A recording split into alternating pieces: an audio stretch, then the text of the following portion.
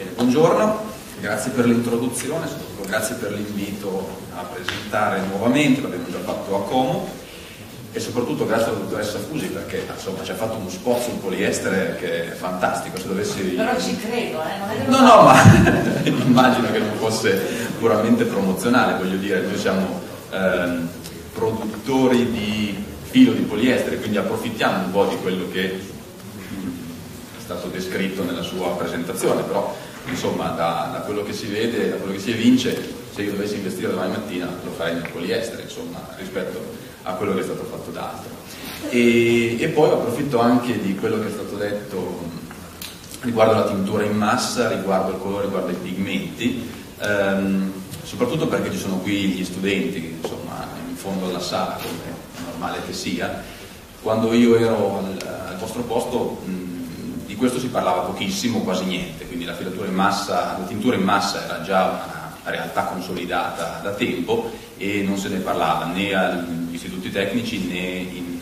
in università. Non so se questo oggi avvenga, eh, spero di sì e soprattutto che avvenga con eh, più dettaglio possibile sui pigmenti e sui prodotti che vengono utilizzati, perché quando si arriva poi nel mondo dell'industria quella è una conoscenza, una competenza che va eh, costruita. Non è così eh, vero che si, fare, si, possono fare tutti i colori che si vuole, questo mi spiace doverlo dire e penso che i colleghi di, di insomma, lo possano confermare. Allora, per entrare nel, nel vivo della presentazione,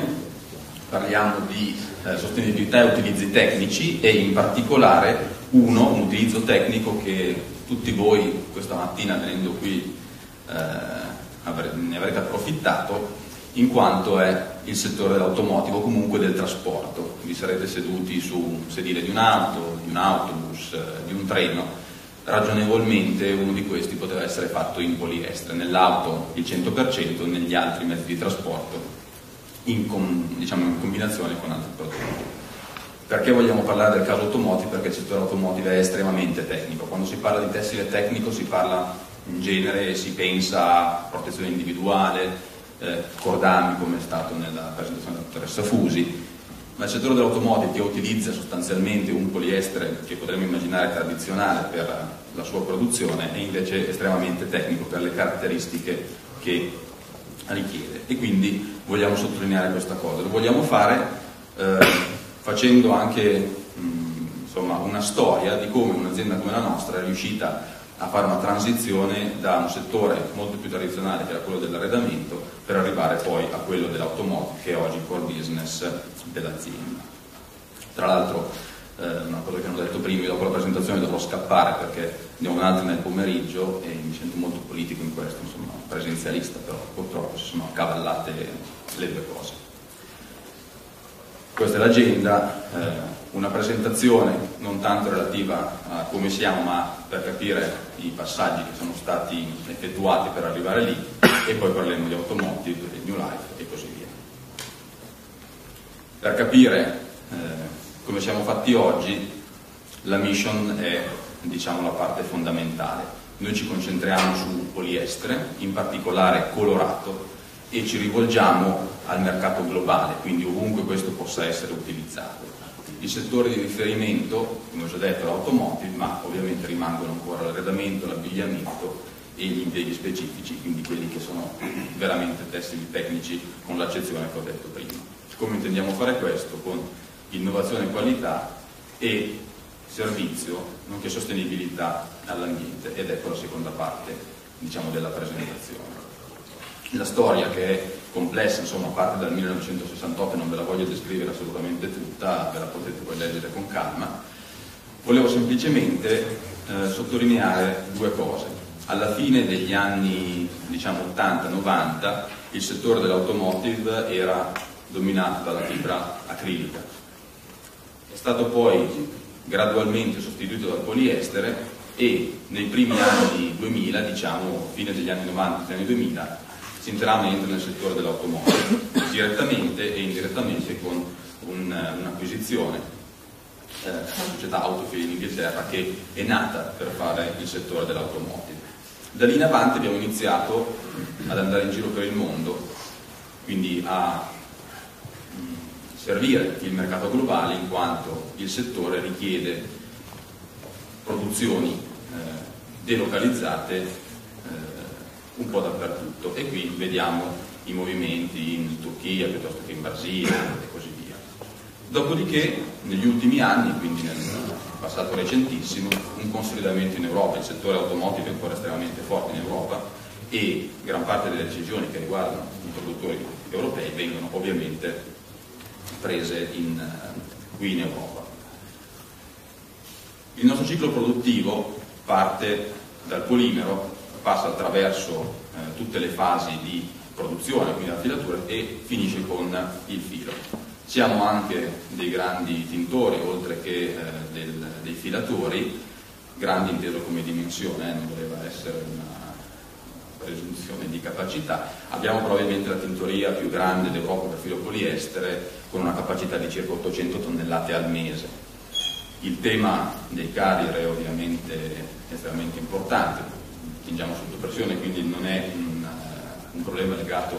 all'ausiliaristica, ma eh, occorre fare un'attenta selezione sui coloranti, in quanto nella produzione di coloranti possono anche rimanere tracce di carrier cloro-organici e questo accade anche nei pigmenti, quindi è un tema estremamente sentito. Sottolineo qui la partenza del ciclo produttivo dal polimero perché un controllo di questa fase, come vedremo dopo, è fondamentale per riuscire a produrre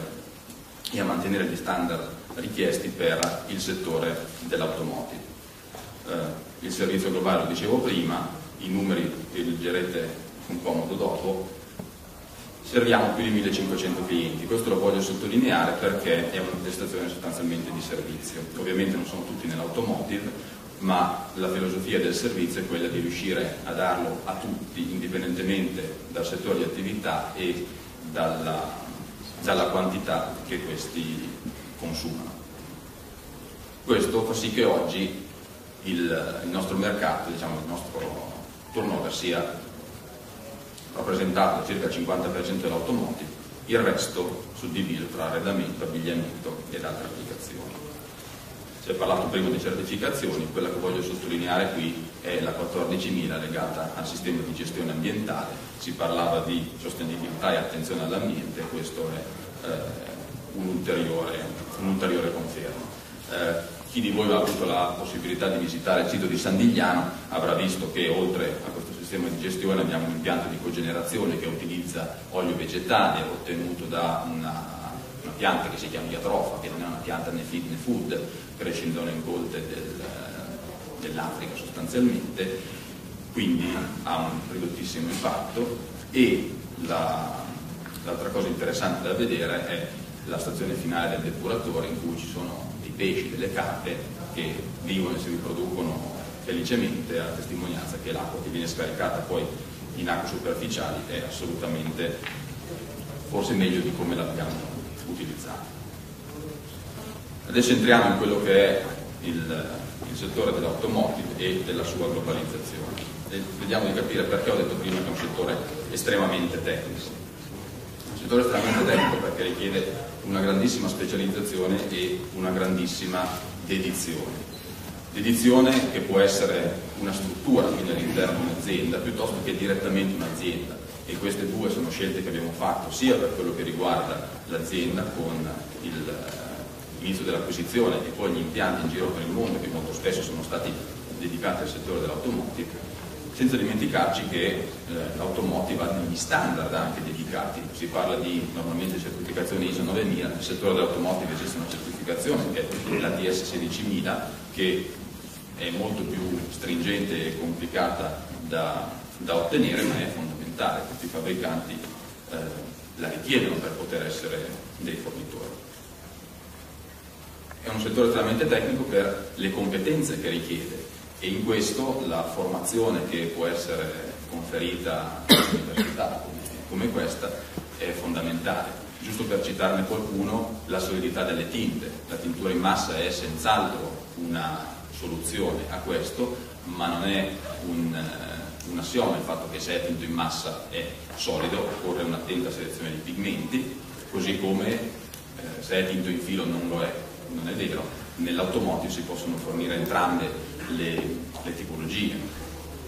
il colore in sé deve essere estremamente costante nel tempo, vengono fatti dei progetti nel settore dell'automotive che possono durare degli anni dal momento in cui eh, è stato validato e dalla prima all'ultima fornitura le caratteristiche di colore sono molto stringenti. Mm, non so se viene fatta anche colorimetria durante, sì, quindi avrete idea di cosa significa il delta E, normalmente si parla di delta E inferiore a 0,5, ma non come eh, singolo valore, bensì i tre parametri che lo compongono, quindi delta L, A e B, sono sotto controllo e su delta A e su delta B ci sono dei valori che arrivano anche a volte a 0,2 e questo è un costante dibattito non soltanto con i clienti ma anche con i fornitori di pigmenti piuttosto che di coloranti in quanto molto spesso le tolleranze a cui dobbiamo sottostare per il settore sono inferiori a quelle che vengono diciamo, garantite dai produttori di coloranti o di eh, pigmento. È molto tecnico per la rapidità di sviluppo, bisogna fare tutte queste cose in tempi estremamente rapidi, il tempo di accesso al mercato si è sempre più ristretto, per cui la parola che sentirete nel momento in cui entrate nel mondo del lavoro sarà urgente e tutte le sue declinazioni sulla superurgenza e la iperurgenza. Queste operazioni vengono fatte ovunque nel mondo con lo stesso livello di servizio e con le stesse caratteristiche eh, un esempio, si possono sviluppare dei prodotti a Wolfsburg e poi produrli a Puebla o viceversa, questo per esempio per, per, la, per la Volkswagen. E tutto questo sta diventando eh, importante che sia anche sostenibile. Occorre ridurre i consumi, per esempio, direttamente e indirettamente. Questi signori qui stanno lavorando tantissimo nella, nella sostenibilità, si parla sempre di più di auto ecologiche con diverse accezioni. Qui cito un esempio che mi serve per introdurre eh, due concetti che sono sostanzialmente quelli che eh, si riferiscono al prodotto che eh, offriamo nel settore. La società Lear, che è fabbricante di sedili sostanzialmente, quindi nella parte interna dell'abitacolo, ha lanciato un prodotto che si chiama Evolution, ho lasciato la slide in inglese in quanto è così come nasce, sostanzialmente Lear come gli altri produttori iniziano ad integrare materiali eco-friendly, strutture alleggerite, tessuti ottenuti con materiali riciclabili piuttosto che già riciclati e combinando queste tecnologie riescono a ridurre il peso delle strutture, riescono a ridurne il costo e riescono a ridurre ulteriormente il tempo di accesso al mercato. Ovviamente la riduzione eh, del peso è importante perché genera riduzione di consumi, per esempio nel, nel trasporto privato, ma genera anche eh, più servizio nel trasporto collettivo. Immaginate il settore ferroviario, una carrozza più leggera tende di produrre treni convogli più leggeri che frenano prima, per cui se ne possono mettere di più sulla stessa linea. La, nella slide che ho appena fatto vedere ci sono un paio di parole chiave che sono quelle che appunto introducono il concetto seguente, eco-friendly e lightweight. Per contribuire a questa ricerca che il settore dell'automotive sta facendo, nella parte eco-friendly noi offriamo la piattaforma New Life. La piattaforma New Life è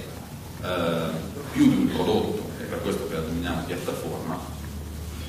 e da dove nasce sostanzialmente, eh, l'abbiamo visto prima, si cerca di minimizzare quello che è l'impatto delle, delle attività produttive, quindi delle nostre sostanzialmente, e massimizzare i benefici per la comunità.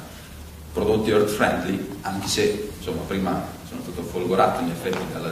dall'affermazione che il petrolio è naturale, in effetti lo consumiamo molto più velocemente di quanto si, si generi, però in effetti eh, quella è stata veramente una, una folgorazione. E il settore dell'automotive e del trasporto in generale contribuiscono veramente in maniera determinante al consumo di risorse e dalle emissioni. Quindi noi offriamo New Life per eh, contribuire a questo. Quindi è una gamma di prodotti eh, di fili in poliestere sostanzialmente continui,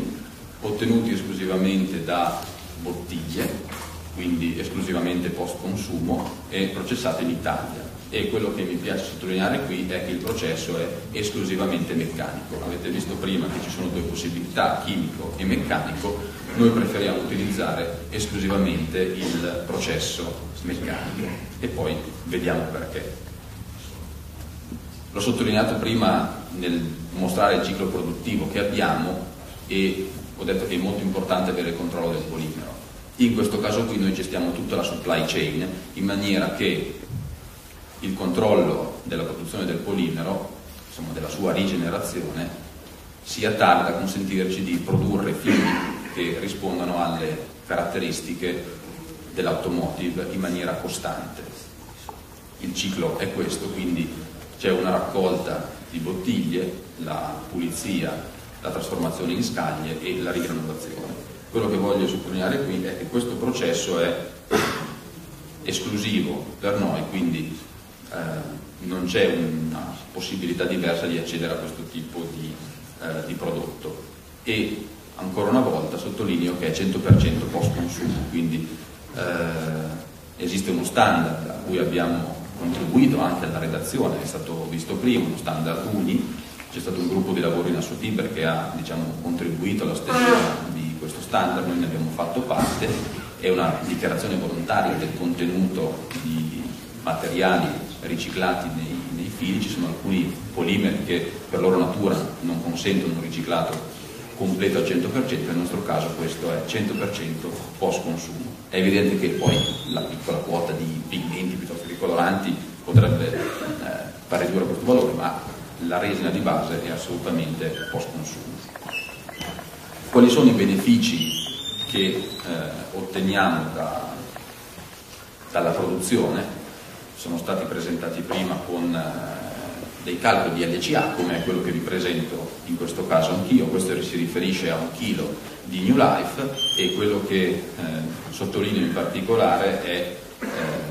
l'energia, insomma per ogni chilo. Sono circa sono più di 70 i megajoule che vengono risparmiati e questo lo dico per chi eh, qui potesse essere un utilizzatore di fili, questo non vuol dire che il prodotto alla fine poi costa il 60% in meno, perché è una, un concetto che a volte viene, rimane, nel senso che la parola riciclato in genere fa pensare a un prodotto che ha delle caratteristiche inferiori, in realtà questo non è vero.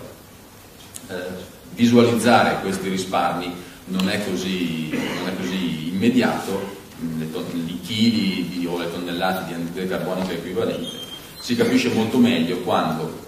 diciamo che una tonnellata di filo New Life consente un risparmio di 7660 megajoule. Come energia sarebbe equivalente a far girare per l'Europa una tonnellata di merce con un camion per più di 3000 km piuttosto che un'autovettura per trasporto privato per più di 2600 oppure un monitor come quello del computer che sto usando io per quasi 6.000 ore. Tutto questo avviene in una zona confinata di territorio, in un raggio che è circa 60 km e questo consente ovviamente dei benefici notevoli anche a livello di trasporto e di gestione, non ci sono container di bottiglie o di altri materiali che viaggiano in giro per il mondo per arrivare alla stazione di trasformazione, ma si, si fa tutto localmente. Ora, per chi non l'ha mai visto, specialmente la fase a monte, quindi di raccolta, selezione e trasformazione delle bottiglie, c'è un piccolo video che è leggermente promozionale,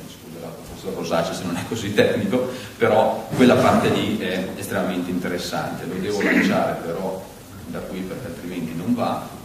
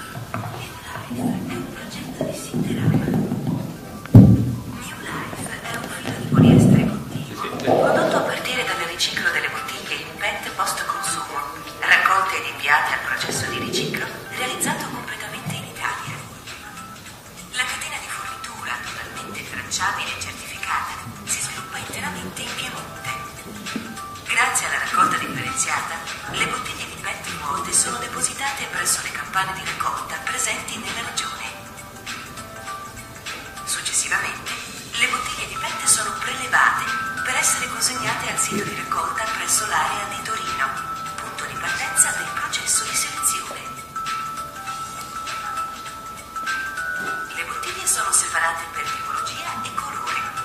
Dopo accurati controlli qualitativi, sono compresse in valle e stoccate in attesa della successiva lavorazione. Presso lo stabilimento di Fossano, le bottiglie sono lavate e macinate meccanicamente, ridotte in scaglie e poi fuse per essere trasformate nel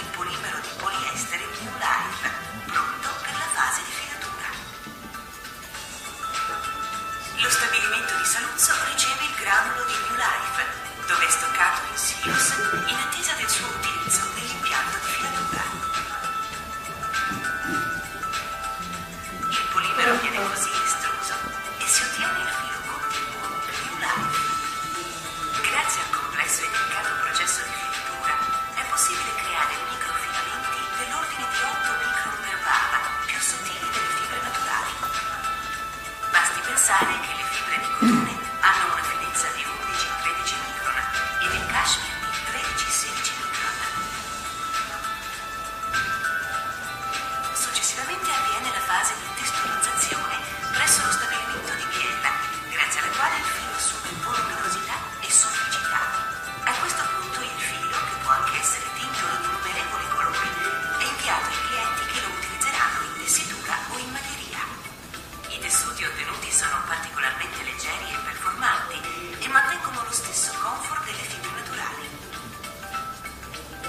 Life si trasforma in un ampio numero di prodotti tessili con proprietà polifunzionali, quali ad esempio la protezione dai raggi solari, l'azione antibatterica, l'eccellente resistenza e solidità dei colori.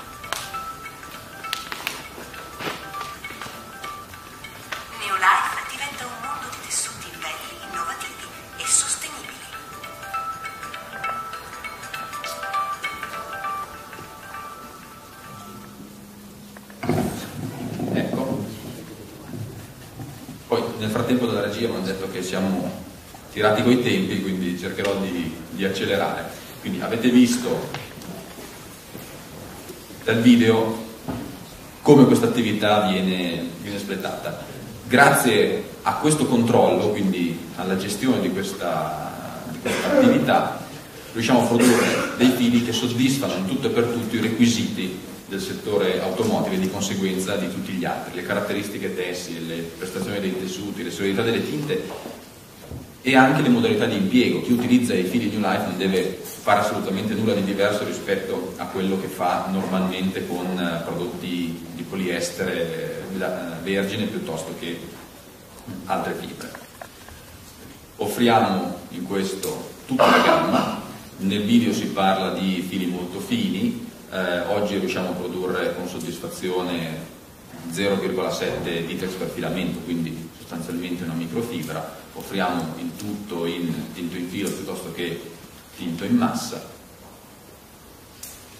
e nel settore dell'automotive questo trova applicazione sui sedili piuttosto che nelle cappelliere, padiglioni e, e così via. È una piattaforma New Life perché oltre a un prodotto è un marchio, quindi per la promozione del marchio e per la valorizzazione di tutta la supply chain abbiamo una specifica brand policy che eh, la gestisce, abbiamo ovviamente attività di marketing e promozione che aiutano l'affermazione del marchio. Eh, all'inizio del 2014 sicuramente avrete eh, ricevuto comunicati stampa riguardo al lancio di una collezione da parte di Max Mara della linea Weekend che utilizza New Life e per ulteriore garanzia di tutta la supply chain siamo in grado di tracciare ogni singola fase di produzione, sia al nostro interno che eh, successivamente. Mm, Vado sul leggero, sulla brand policy, ve la leggerete, questi sono esempi di come è il materiale promozionale, se andrete sul sito che trovate alla fine della presentazione potrete scaricare anche questa parte di eh, documentazione. Le certificazioni sono ovviamente importanti, queste sono quelle di cui disponiamo sul sistema e sui prodotti, la dottoressa l'ha sottolineato prima più volte, essendo un materiale che nasce originariamente per contatto alimentare, quindi con l'acqua piuttosto che le bibite, eh, approfittiamo di questa caratteristica per ottenere dei prodotti che hanno ovviamente eh, questo tipo di certificazione. eh, alcune le abbiamo ottenute indirettamente, nel senso che è stato riconosciuto da enti esterni, in questo caso l'EPRO ci ha confermato, ci ha conferito nel 2012 il Best Recycled Plastic Product, quindi un riconoscimento per eh, l'attività di riciclaggio e recupero delle materie plastiche, nonché nel 2012 eh, il Ministero dell'Ambiente con la Camera di Commercio di Roma eh, conferì i premi Impresa e Ambiente e New Life ottenne questo, questo riconoscimento. Parlavo prima della tracciabilità, siamo in grado di confermare se il prodotto di cui stiamo parlando è New Life piuttosto che no, eh, riusciamo a farlo con un'analisi sostanzialmente semplice che esegue enti indipendenti in quanto non vogliamo essere quelli che eh, ci diamo ragione sostanzialmente, quindi la cosa si può fare e quindi è estremamente affidabile. L'altro concetto che avevo introdotto con l'esempio della società LIA era quello del lightweight, sostanzialmente della riduzione del peso delle strutture. È un tema assolutamente eh, di moda, diciamo. Questo è un estratto della rivista Mobile Tex, quindi una rivista specializzata dei tessili per il settore del trasporto, dove si sottolinea che i fabbricanti stanno lavorando moltissimo alla riduzione del peso dei veicoli, in quanto questi negli ultimi anni sono sostanzialmente cresciuti, quindi vedete una massa media eh, che fino a metà degli anni 2000 è aumentata per poi sostanzialmente stabilizzarsi ed oggi si sta tentando di, ehm, di ridurle, di alleggerirle. Le macchine sono anche cresciute come dimensione negli anni, guardate la 500 degli anni 60 e quella di oggi, una sembra la custodia dell'altra, quindi i pesi di conseguenza si sono incrementati, però stanno aumentando sempre di più gli utilizzi di leghe leggere, acciai speciali, alluminio e magnesio, materiali compositi, eh, avrete visto la BMW i3 è quasi interamente costituita da compositi, tutta elettrica, quindi l'alleggerimento è un tema. Dove possiamo contribuire noi come tessili e poi come filo? In un'automobile ci sono tessuti che vanno sui sedili, pannelli porta, padiglioni, ci sono le moquette, ci sono i tappetini, ci sono i tessili che non si vedono, quelli che rivestono i cavi del motore per esempio, ci sono quelli che neanche aprendo il cofano si vedono perché sono fibre di rinforzo per pannelli porta, quindi la struttura del pannello. Noi produciamo filo, quindi giochiamo sui tessuti e tutti questi prodotti che abbiamo, fili testurizzati, stabilizzati, ritorti, possono diventare una nuova gamma che si chiama featherweight, quindi un peso piuma sostanzialmente, quindi un alleggerimento della struttura, un alleggerimento del tessuto che può arrivare fino a un 20%. In un'automobile ci sono all'incirca 12 metri di tessuto, 10-12 metri, il peso del tessuto può essere tra 250 e 300 grammi nella maggioranza dei casi, quindi il 20% di questa eh, quota può essere quasi un chilo. Sembra pochissimo, ma deve essere visto come una componente di tutta, di tutta la struttura, per cui un chilo sui tessuti, un chilo sui pannelli, un chilo su altre strutture, alla fine si ottengono delle riduzioni importanti. È, qual è il vantaggio questa, eh, della riduzione del peso? È che siamo in grado di offrire featherweight anche per eh, struttura anulare sostanzialmente, quindi combinando le due piattaforme, quindi la riduzione del peso e il New Life, riusciamo ad avere un prodotto che soddisfa entrambi i, eh, i requisiti. A questo punto penso sicuramente di aver sforato di qualche minuto, però concludo eh, in questo modo. Quindi il settore è tecnico nell'automotive, ma è possibile comunque crescere e farlo in maniera sostenibile rispettando i requisiti, contribuendo attivamente alle riduzioni e ovunque nel mondo allo stesso modo. Qui avete i contatti del collega che ha contribuito alla presentazione e del, dei prodotti New Life. Grazie.